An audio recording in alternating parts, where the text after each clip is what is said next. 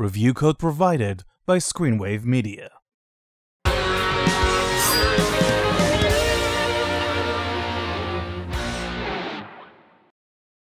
God Eater was Bandai Namco's answer to Capcom's Monster Hunter. While the series never reached similar heights, it definitely garnered enough of a cult following.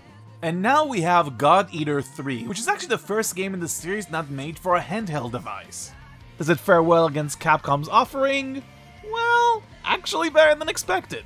God Eater 3 puts players in a role of a God Eater, a hunter of monsters known as Aragami. In this installment, the Avatar character, alongside his companions Yugo and Zeke, are stuck in prison following orders to eradicate said Aragami. Thankfully, the three are recruited by the caravan owner Hilda Henriquez, who tasked the three to carry a very important cargo to its destination.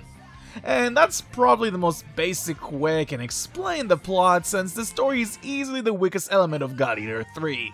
Characters are just one-dimensional cardboard cutouts, and the script is benign at best. It's a shame too because there's a lot of decent voice actors in this game, but it doesn't help that a lot provide just awkward line delivery.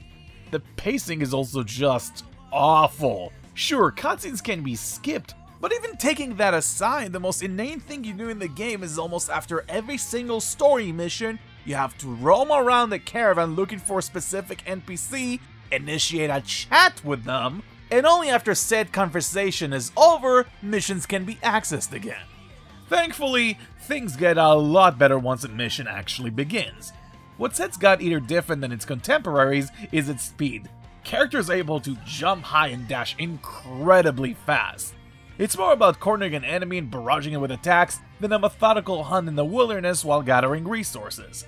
Characters can wield a variety of weapons known as God Arms. Those weapons can vary from blades to mallets, and each has their own unique benefits. God Arms have the ability to morph into ranged weapons as well, ranging from sniper rifles, shotguns, and ray guns.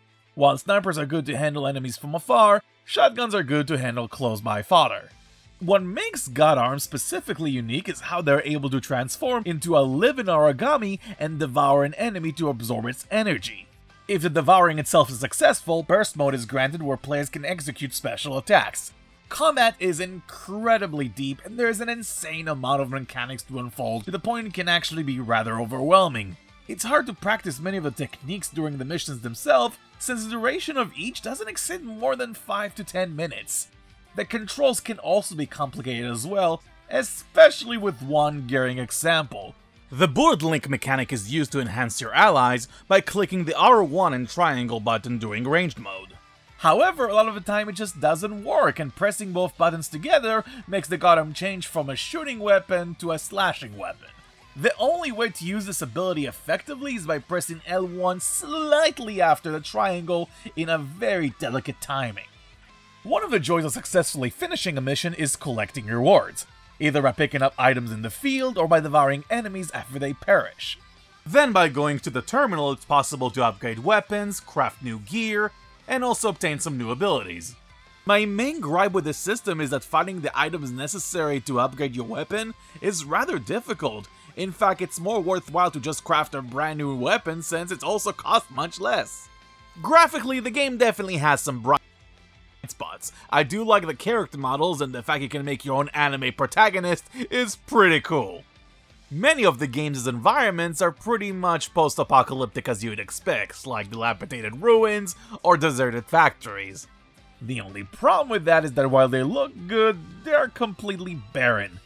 And sure, the game takes place in a dystopian future, I get it. But considering how there are many games that are depicted in similar scenarios have much more finesse to their environment, this is still rather disappointing. The orchestral soundtrack gets the job done. It fits, but it's not exactly what I would call memorable. In fact, my favorite music track in the whole game is easily the main title Stereo Future by the Japanese band Bish.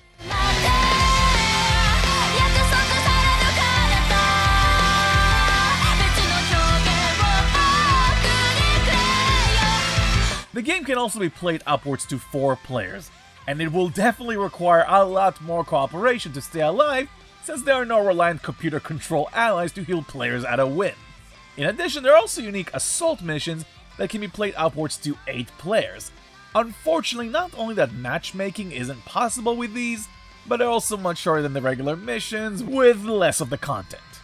God Eater 3 is the kind of game that I'm really glad it can be saved by its gameplay. Cause the dull story, the mediocre pacing, and the less than stellar vocal performances drag the entire experience downwards. It's a shame because the actual gameplay is pretty fun. Experimenting with the huge variety of mechanics can be extremely rewarding. If you're fans of the Monster Hunter games and looking for something similar with a flair of faster hack and slash games, it's definitely worth a look. Just prepare to have a pretty steep learning curve to go over. Thank you very much for watching guys, and until the next time, uh, take care. By the way, before I actually forget, if you're wondering what BISH actually stands for, it actually means brand new idol shit.